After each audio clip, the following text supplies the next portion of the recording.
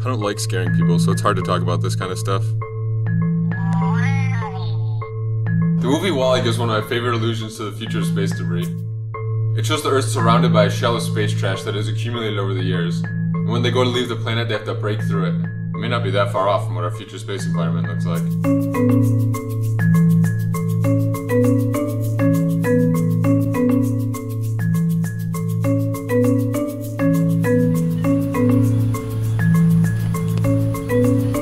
Idea of our current space environment, imagine this ball is our planet and this sand is space debris. At first glance, you might think, yeah, there's a lot of stuff, but it's small and fairly spread out. And you'd be right in some ways.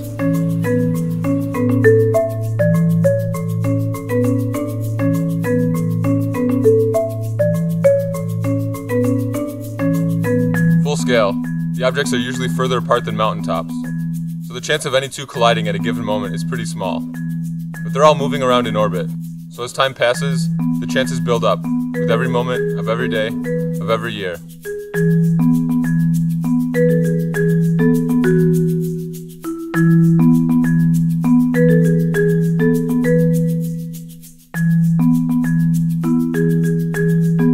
Many astronomical events are considered rare, but there are many astronomical events. In that sense, it can be quite common to have a rare event.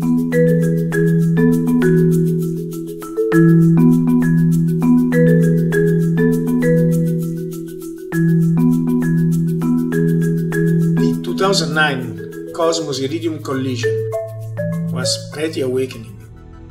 Less than 500 miles above the Earth, two satellites bumped into each other at over 15,000 miles per hour.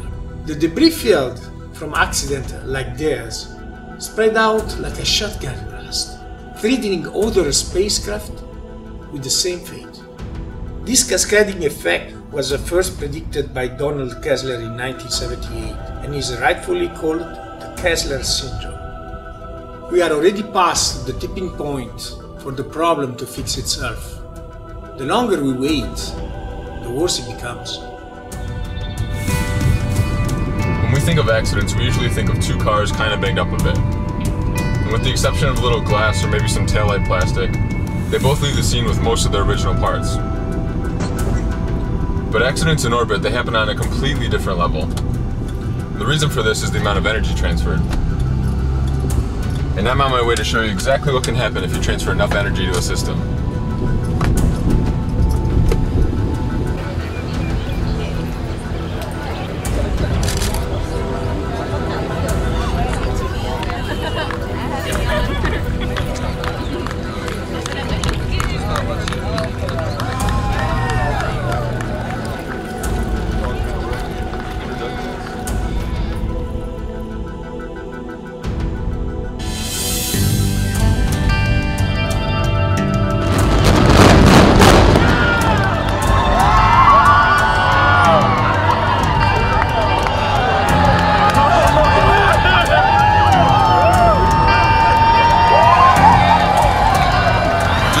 Explosion transferred enough energy to the building to make it crumble to pieces.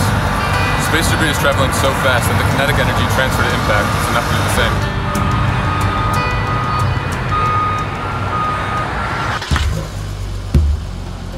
Loosely speaking, a piece of space debris can be categorized as big, little, or tiny. Old satellites and rocket stages are big. If they break up, they have enough material to scatter thousands of little pieces.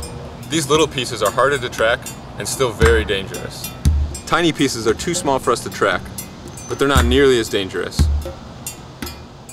The potential clutter that big objects can create makes removing them most important for the long-term goal of cleaning up space. But every time a big object breaks up, there's a heightened short-term need to clean up the pieces before they continue the chain reaction. But now we get that there's a problem. So let's fix it, right? The first idea that usually pops into people's heads is to launch a satellite to go collect each object individually, and then send the whole cluster to burn up in the atmosphere. Let's call this the standard mission. The standard mission doesn't work.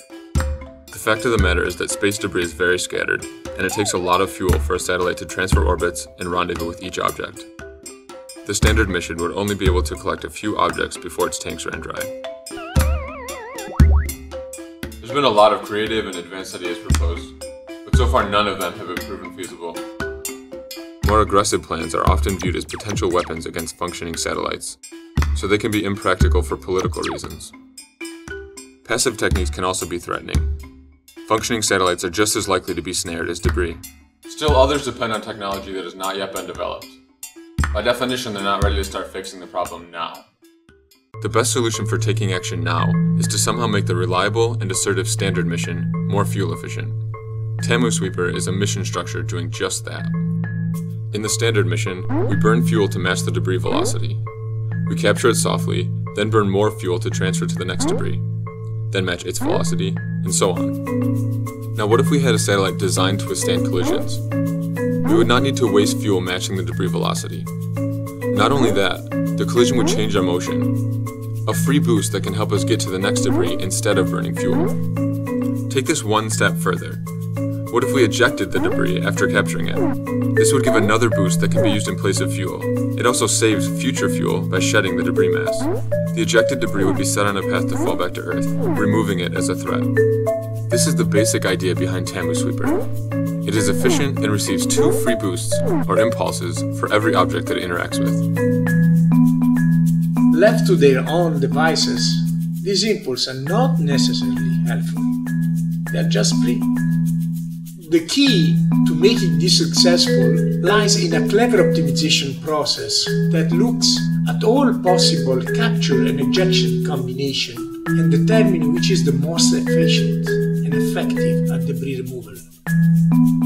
The last piece of the puzzle is the satellite itself. It has to be durable, precise, and efficient. And Slingsat may be just the one for the job. The basic idea behind Slingsat is to have a spin stabilized satellite that collects debris at the ends of adjustable arms. Adjusting the length of these arms controls how fast it spins, which also determines the ejection speed. Setting the ejection angle is just a matter of timing when to let go. TAMU Sweeper and the Slingsat actually use the vastness of the space debris problem as part of his own solution.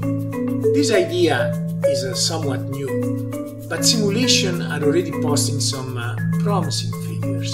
The kind that may finally make space debris removal